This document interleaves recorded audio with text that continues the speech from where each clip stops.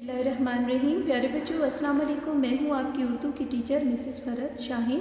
बच्चों, आज का हमारा उनवान है अहद और इसके मुसनफ़ हैं मकबूल अनवर दाऊदी।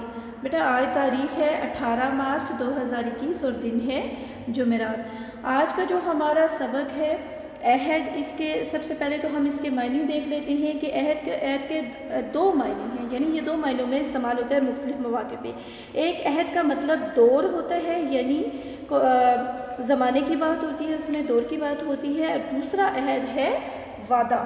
ठीक है आज का जो ये आ, हमारा उनवान है अहद ये एक वादे के गिर्द घूमता है यानी इसमें ऐसा अनुमान है जो इफ़ाई अहद के मतलब है वादे के मतलब है और ये और ये पूरा अनुमान जो है एक एक शख्स और उसके वादे के एक नौजवान शख्स और उसके वादे के इर्द गिर्द घूमता है कि एक नौजवान शख्स सहरा में कहीं जा रहा था उसे शदीद गर शदीद गर्मी लग रही थी और वो आ, उसे शदीद गर्मी लग रही थी और वो प्यासा भी था। इसी तरह वो नौजवान जो है गर्मी की शिदत से बचने के लिए किसी नखलिस्तान की तलाश में था यानी किसी ऐसी जगह की तलाश में था जहाँ पर दरख्तों को बहुत सारा हो कोई बाग हो, जहाँ पे वो थोड़ी देर जा के लिए आराम कर सके और सुकून हासिल कर सके, गर्मी की शिदत को, ताकि कम कर सके।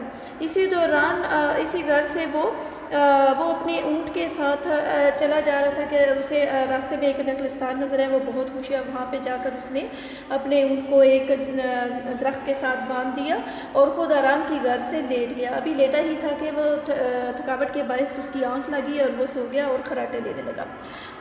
ऊँट, अचानक ऊँट जो है वो खड़ा हुआ और उसने वहाँ से जाने का आ, सोचा उठने की कोशिश की। ऊँट जैसे ही उठा तो उसकी पाँव पे बंधी हुई रस्सी जो थी वो टूट गई और ऊँट वहाँ से निकल के दरख्तों के पत्ते खाना शुरू हो गया।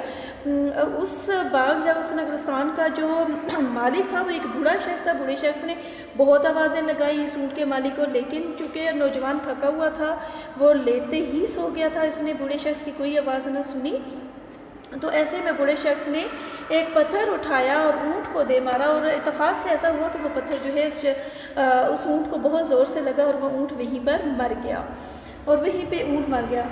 और जब ऊँट मर गया और फिर बूढ़ा अचानक बूढ़े ने देखा कि इसका मालिक तो सो रहा है, वो उसी नौजवान लड़की की तरफ़ अब बढ़ता चला आ रहा था कि उस नौजवान की अचानक से आँख खुली और उसने देखा कि उसका ऊँट वहाँ पर नहीं है, जहाँ पर उसने बांधा था।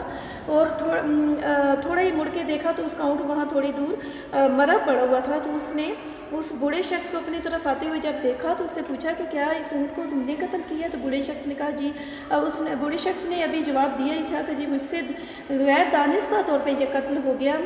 तो अभी उस बूढ़े ने अपनी बात मुकम्मल नहीं की थी कि नौजवान ने उस बूढ़े शख्स का बूढ़े शख्स की गर्दन दबोच ली और उसको और उसको कत्ल कर दिया। उसे कत्ल करके अभी उसने ज़मीन पर फेंका ही था कि अचानक से बूढ़े शख्स के बेटे वहाँ पे आ निकले और उन्होंने जब अपने बाप की लाश देखी तो उन्होंने फ़ौर उस नौजवान लड़के को पकड़ लिया और पकड़ कर उसे हज़रत उमर रज़ी अल्लाह की अदालत में पेश कर दिया और वहाँ पर पहुँच कर लड़के ने अपना जुर्म जो है वो कबूल कर लिया, यानी उसने इकबाल जुर्म कर लिया। और इकबाल जुर्म करे सज़ा के तौर पर उसे कत्ल करना था, लेकिन उस नौजवान ने हज़रत उमर रज़ी अल्लाह से गुजारिश की कि या हज़रत अगर मुझे कुछ दिनों की मोहलत दी, दी दे जाए तो मेरे सर पर एक यहूदी का कर्ज़ है। मैं चाहता हूँ कि मरने से पहले वो कर्ज़ अदा कर लूँ क्योंकि नबी पाक सल्लल्लाहु अलैहि वसल्लम का भी यही फरमान है कि मरने से पहले तुम्हारे सर पे जो भी कर्ज़ हो उसे अदा कर दो। यही सोचकर नौजवान ने हज़रत उमर से गुजारिश की तो हज़रत उमर रज़ी ने उसे मोहलत देने का इस शर्त पे फैसला किया कि यहाँ पे जितने लोग, अफराद मौजूद हैं, इस मजमा में जितने लोग मौजूद हैं, इनमें से अगर कोई शख्स तुम्हारी ज़मानत देता है तो तुम जा सकते हो। तो वहाँ पर उस मजमा में मौजूद बहुत सारे लोग थे, लेकिन हज़रत उस नौजवान ने सब के, सब पे नज़र दौड़ाई, उसे कोई भी अपना शनासा शख्स दिखाई ना दिया। तो ऐसे में हज़रत अबू ज़र गफ़ारी खड़े हुए और उन्होंने कहा कि मैं इस नौजवान शख्स की, मैं इस नौजवान की ज़मानत देता हूँ ताकि ये जाए और अपना कर्ज़ अदा करके अगर बिलफर्ज़ ये वापस नहीं आता तो उसकी जगह मुझे कत्ल कर दिया जाए। और जब हज़रत अबू ज़र गफ़ारी से हज़रत उमर रज़ी अल्लाह ने पूछा कि आप कैसे एक अजनबी पर एतबार कर सकते हैं और किस तरह इस इस नौजवान की नौजवान को आप मोहलत दे रहे हैं और इसके जगह ख़ुद को सज़ा का मुस्तक करा रहे तो तो हज़रत अबू ज़र गफ़ारी ने कहा कि तमाम मुसलमान भाई बहनियाँ इस नाते से कि ये ये मुसलमान होने के बावजूद ख़ुद को बेजारो मददगार पाए, यहाँ पे मैं ये गवारा नहीं कर सकता, क्योंकि ये भी मुसलमान हैं और तमाम मुसलमान आपस में भाई भाई होते हैं, लिहाजा मैं इसको, लिहाजा इसकी मैं ज़मानत देता हूँ और इसे इसे चंद दिनों के लिए जाने दिया जाए ताकि ये अपना कर्ज अदा करके आए। लिहाजा वो अबू हज़रत अबू ज़र गफ़ारी के की ज़मानत पर ज़मानत पर रिहा वक्ती तौर पर रिहा कर दिया गया और वो, क्योंकि वो मदीने से बहुत दूर रहने वाला था, वो अपने घर पहुँचा, घर पहुंचकर उसने तमाम तर वाक़ अपने घर वालों को बता दिया कि मेरे साथ ये वाक़ पेश है, मेरा ऊँट उस बूढ़े शख्स से ने मार दिया था और उसके बदले में मैंने उस बूढ़े शख्स की गर्दन दबोची तो दानिस्ता वो भी मर गया। तो इसके बदले में मुझे अब कत्ल कर दिया जाएगा। लिहाजा मैं वापस इसलिए आई हूँ ताकि मेरे सर पे जो एक यहूदी का कर्ज था वो मैं अदा कर सकूँ। तो लिहाजा घर वालों ने घर वालों ने उसे बहुत आ, आ, उसके घर में एक कोहराम मच गया। सब रोने धोने लगे कि ये क्या हो गया कैसे ये तुमसे कैसे हो गया? लेकिन उसने कहा कि मुझे वापस जाना है हर सूरत में। हर सूरत मुझे अपना, क्योंकि मुझे आने के लिए कुछ दिन दिए गए, यानी एक मुद्दत मुतन कर दी गई है घर तक पहुँचने के लिए। और मुझे हर सूरत में वापस वहाँ पे जाना होगा। घर वालों ने उसे कहा कि तुम वापस मत जाओ, कौन सा यहाँ से मदीना बहुत दूर है और यहाँ तक कोई नहीं पहुँचेगा पहुँच पाएगा। लेकिन उस लड़के ने कहा कि मुझे हर सूरत में अपना अहद पूरा करना है, क्योंकि अल्लाह ताला और अल्लाह ताला बार बार अपने अहद को पूरा करने की हमें तलकिन फरमाते हैं कुरान पाक में। इसी तरह उस नौजवान ने अपनी तो, अपनी तमाम जायदाद फ़रोख्त की और उस यहूदी का कर्ज अदा किया।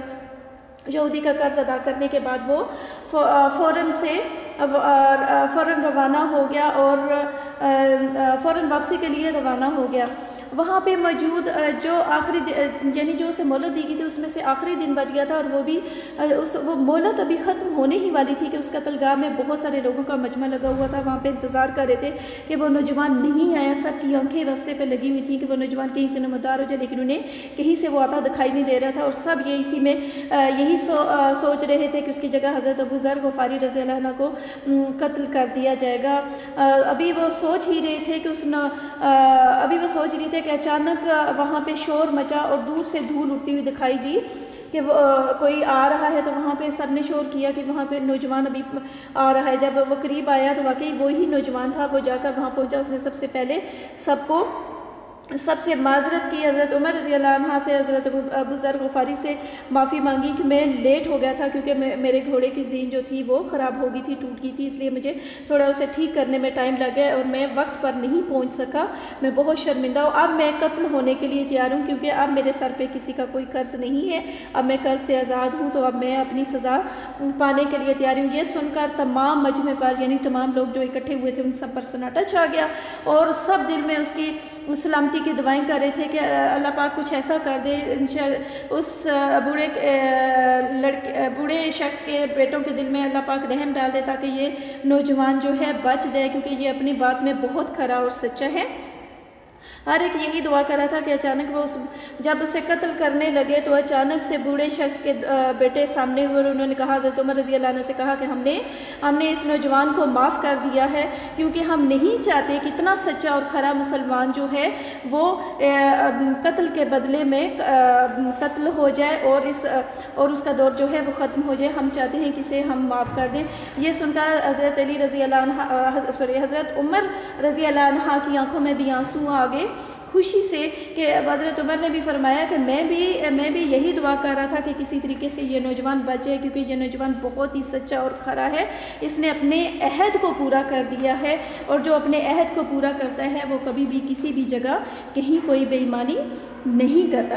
तो बेटा, आपने देखा कि एफ़ आई अहद के तहत उस नौजवान ने बजाय झूठ बोलने के, बजाय अपने जुर्म से भागने के उसने उसको कबूल किया और जो वादा किया, हज़रत उमर रज़ी अल्लाह से अपने वादे के मुताबिक उस जगह पर पहुँचा तो अल्लाह ने इनाम के तौर पर उन दिलों के, उनके बूढ़े के बेटों के दिलों में रहम डाल दिया और उसके बदले में उसे माफ़ कर दिया गया। तो हमें भी बचे इस सबक ये जो आपका अनुमान है अहद इससे हमें ये सबक मिलता है, ये नतीजा मिलता है कि ज़िंदगी में आप कभी किसी से कोई वादा करते हैं तो उसे लाजमी पूरा करें, अपने वादों का बहुत ख्याल रखें, अपने वादों का पास रखें।